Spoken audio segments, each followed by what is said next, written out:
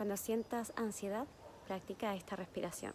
Lo primero que tienes que hacer es sentarte de manera que tu espalda esté recta, tu coronilla vaya hacia el cielo para poder abrir bien el pecho y dejar que el aire pueda pasar sin ningún tipo de bloqueo.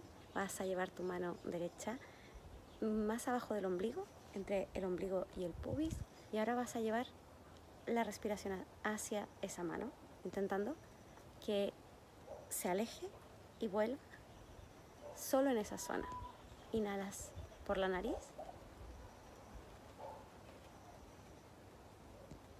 Sueltas por la nariz.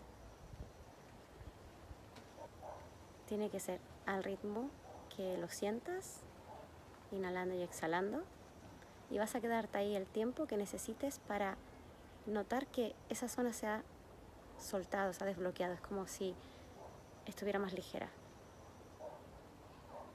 Cuando notes que ya se ha liberado esa zona, llevas la mano derecha entre el ombligo y el diafragma, justo en la parte más abultada del abdomen, y vuelves a repetir.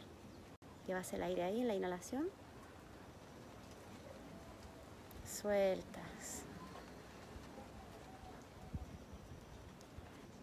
Intenta que sea solo en esa zona. Llevas el aire dejas que salga. Y por último, cuando ya notas que esa zona está más liberada, ya no hay tanta tensión, pasas justo al centro del pecho, aquí en el esternón.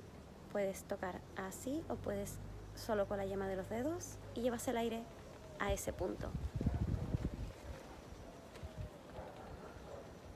Es posible que en algunos de estos tres puntos de, de respiración notes que hay más bloqueo, necesites estar más tiempo. También es posible que sientas ganas de llorar, no pasa nada. Deja que las emociones salgan. Respíralo, simplemente respíralo, pero llevando la atención a ese punto. Utiliza esta respiración cada vez que lo necesites. Puedes también realizarla en la cama antes de dormir o cuando te levantas. Es muy sencilla y seguramente vas a notar los cambios que hace en ti.